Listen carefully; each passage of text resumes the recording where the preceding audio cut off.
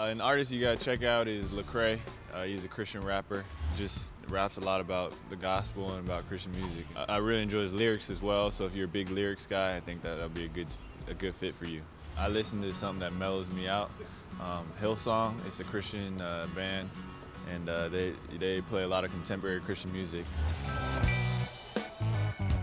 You know, I listen to them just to remind myself why I'm playing the game and to remember, remind myself I'm playing to glorify God. And uh, I just really try to focus on that. I try not to get too hyped up, otherwise, I find myself kind of burnt out before the game or, or going into the game uh, just with a little too much energy playing out of character. So I try to slow it down a little bit.